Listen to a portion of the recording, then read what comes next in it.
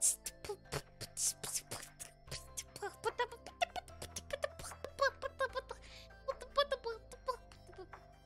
you ever had a dream that you wish you could